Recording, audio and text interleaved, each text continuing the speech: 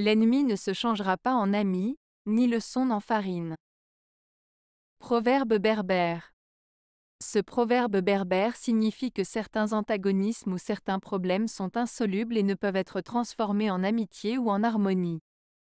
C'est comme si on voulait changer le son en farine, ce qui est impossible. Il est donc important de reconnaître quand les choses ne peuvent pas être résolues, pour mieux identifier les problèmes qui peuvent l'être.